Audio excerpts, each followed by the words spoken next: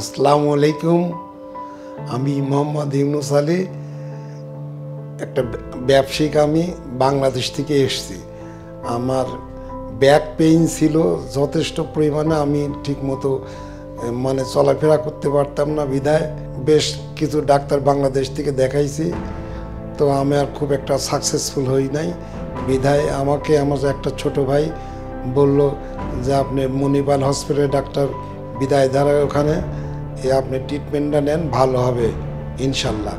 তো আমি মোটামুটি চলে আসলাম ইন্ডিয়াতে বেঙ্গালুতে আসে পরে আমি অপারেশন করছি। আমাকে বলল যে আপনি অপারেশন করতে হবে।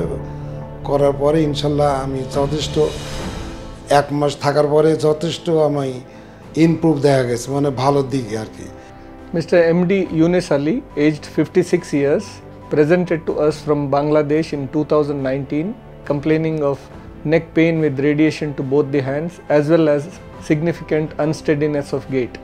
He had history of multiple falls because he was not able to walk steady or walk long distances.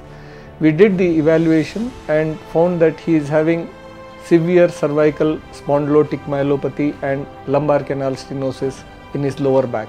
We did suggest him a decompression surgery for the neck and the back, both together, after confirming that his body is able to withstand the surgical stress. So he underwent the surgery successfully in 2019 and the next day he was discharged home. He was in Bangalore for nearly a week when we did the first dressing after surgery and then he was advised to go back home.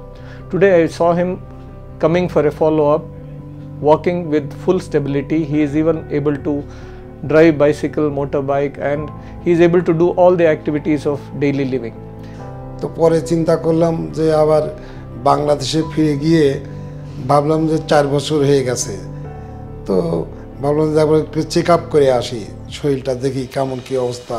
তো এখন উপরাল্লা ইচ্ছা আয়সা তার কাছে সব কিছু check up করলাম করার পরে দেখলাম বেশ উপরাল্লা ইচ্ছা সাকসেসফুল আমি।